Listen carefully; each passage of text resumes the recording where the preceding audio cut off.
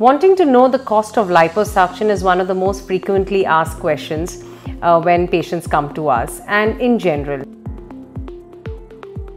So when it comes to the cost, it's a very subjective matter and the cost can vary. It can start from probably 30 to 40,000 rupees and go upwards to probably a lakh or maybe 2 lakhs or even more. It all depends on the complexity of the procedure. Now, liposuction for a very small area like a chin, for example, could cost you anywhere between 30 to 40,000 rupees. But if you're looking at a liposuction of a larger volume, it could be the abdomen, the back, or probably arms and thighs, uh, or the breast. So we are looking at more amount of working time, which means uh, more amount of the operating theatre time, uh, the anesthesia time, which includes uh, various anesthetic drugs, includes medical uh, consumables. So your cost may depend on how long the procedure is, how many body areas of liposuction we are doing, how much of volume of fat that we are taking out and after seeing the patient and after consultation we decide of this is the approximate amount of fat that we're going to take out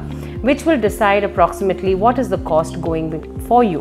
Liposuction, like any other cosmetic procedure, is a highly customized and individualized procedure and the cost can vary on different patients. Dr. Karishma Aesthetics at various times in the year also comes up with special offers which you need to watch out for and uh, to be updated you need to follow us on YouTube, you need to follow us on our Instagram channel that is Dr. Karishma underscore aesthetics and uh, there are various festive offers on body contouring and various cosmetic procedures. So if you're looking for discounts on such procedures, stay updated on our channel. If you want to know more, subscribe to our YouTube channel Dr. Karishma Aesthetic and make sure you hit that bell icon in order to get all the latest updates and videos.